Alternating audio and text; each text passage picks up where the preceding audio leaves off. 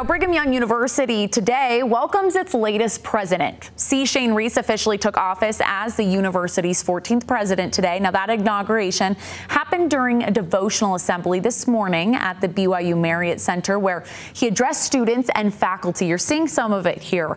Now, Reese was serving as the academic vice president at BYU since 2019. He succeeds Kevin J. Worthen, who served as BYU president for nine years anchoring our work in prophetic priorities and making scholarly resources available to the church will amplify our scholarships and anchor it in gospel methodology. So you heard some of what he said there. He talked about the relationship between the school and the church. Again, he's been serving as the academic vice president at BYU since 2019.